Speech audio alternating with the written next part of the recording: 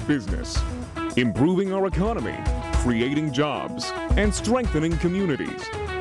Innovation, collaboration, transformation, and the people making it happen. Join us as we take a closer look at our region's business. Now, here's your host, Bill Flanagan. Today on our region's business, how to protect my million and yours. Plus, we'll meet a young woman from our region who parlayed a degree in electrical engineering into a trip around the world with a solar-powered airplane. But first, the fast-moving world of cyber law, public policy, and personal security. These issues are front and center. The new Cyber Institute at the University of Pittsburgh, which is tackling everything from privacy concerns in the era of the cloud to that alleged Russian hacking during the presidential election. Former U.S. Attorney David Hickton has signed on as the founding director, and he is back with us today. And welcome. Good to have you here. Good to be here, Bill. How are you? Uh, I'm doing okay, but I'm having a hard time keeping up. Uh, I mean, even just in the, uh, the area of cybersecurity, it was all about Russian hacking two weeks ago. Now it's about hacking into the traffic control system in Washington, D.C. These issues are really front and center right now, all around us. Yeah, it seems like it gets more dynamic every day, but it's a real threat. It's a real problem and how we measure digital space going forward is a big challenge for all of us, and it's really important. For folks who aren't too aware of the of the, of the new Institute at Pitt, how, how do you see that fitting into this conversation and the, thinking about it? Well, we're very hopeful and very ambitious that the new Institute of Cyber Law and Policy at the University of Pittsburgh can become an important uh, mecca for people to come together to come up with new and innovative thinking uh, to present uh, dynamic solutions in this uh, evolving environment. Uh, it's a multidisciplinary uh, institute which is going to involve the law school, the School of Engineering, the School of in Information Science, the School of Computing, the Graduate School, the Health Sciences, and it's really more about understanding not only just cybersecurity, but big data and how we can leverage the opportunities and do a better job protecting ourselves. So it'll have an education function, it'll have a convening function and a collaborating function. I'm very excited about it. Yeah, you think about Pittsburgh at the forefront, computing, some of the big data, everything that's happening with artificial intelligence. A good reason to be doing this here and, and making this happen? Yeah, well, Pittsburgh has become the intersection of a lot of the work. When I was U.S. Attorney, we were the number one place for cyber law enforcement, but that's just one tool in the toolbox. Mm. And I was over at uh, Carnegie Mellon the other day talking to them. We intend to continue our great work with them at CyLab and CERT and the Software Engineering Institute. Uh, there's the National uh, Cyber Forensic Training Alliance, the public-private partnership, one of a kind until now, which is being franchised off of Pittsburgh to New York and LA. What an extraordinary event.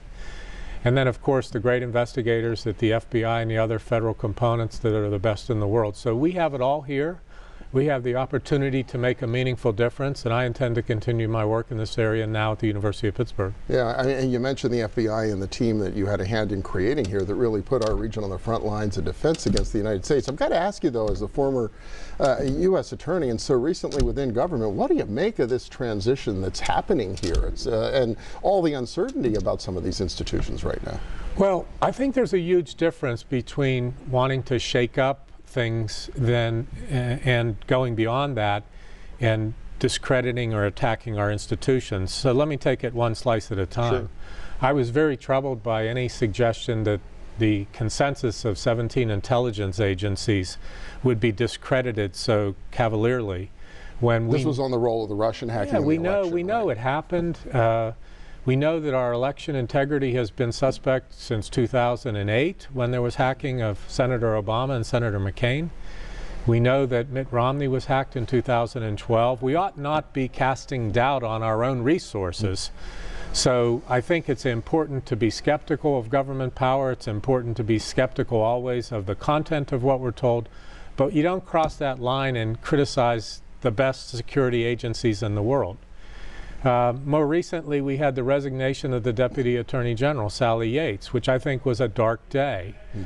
Uh, I remember when I was U.S. Attorney, we were brought to the White House by then President Obama, and it, it's an event and a moment that stands at the top of my experience as U.S. Attorney and still gives me goosebumps when I think about it. But President Obama said, I brought you all here. And Sally Yates was the U.S. Attorney in Atlanta at the time, and Loretta Lynch was the U.S. Attorney in Brooklyn. Mm. And Eric Holder was the Attorney General. He said, I brought you all here to tell you one thing. I selected you, but you do not work for me. You work for the American people. That's the great tradition of the Department of Justice. And I think we cannot lose sight of that fact that we are protected by the, the, the role of the Department of Justice, which admittedly the people, including me, are picked through a political process. But once you go there, you shed your political affiliation and you're there to do justice. And that is the responsibility of the leadership there. So I'm very concerned about where the leadership is going to take the Department of Justice. Um, I would have not been for Attorney General Jeff Sessions. Mm. If I were a senator, I would not confirm him. But he is now our Attorney General, and he, re, he, de, de, he deserves our support. But I'm very hopeful that he remains uh, faithful to the great tradition of the Department of Justice, which has been a nonpartisan tradition that we're to do justice for all of the American people, and that that institution, by its name and its mission, is to protect the constitutional rights of everyone. You know, Bill, one of the first things we learn as young children when we leave the house is how to say the Pledge of Allegiance. And it ends with, in liberty and justice for all. I have never heard anyone, when they said the Pledge of Allegiance, end it by saying, and liberty and justice for some. Hmm. That's what you think about when you serve in the Department of Justice, as I have. So I'm concerned about that. I'm also concerned about uh, where we're going with the polarizing hostility that's going to get us nowhere. And that really I lay at the feet of both sides of the extreme political right and left. I think there has to be a consensus for the good of the country. You know, were I in charge, we would have more of the British system where we would have election cycles and you couldn't participate outside a narrow window. We seem to be already putting ourselves in the position of run up for the next election. I don't know how you're supposed to govern this country if we're in a perpetual cycle. Well, we have been for years. I, I want to, I, we have to take a break, but when I come back, I want to pick up on some of this institutional issue that you yeah. raised, because it really does come down what role are the courts going to play, the press going to play in right. making sure that the, the, the, system remains. So if you can stay with us, sure. Uh, we'll be back in just a moment uh, with David Hickton, former U.S. Uh, uh, attorney in, the, in this district, and, and now with the new Cyber Institute at the University of Pittsburgh. Stay with us.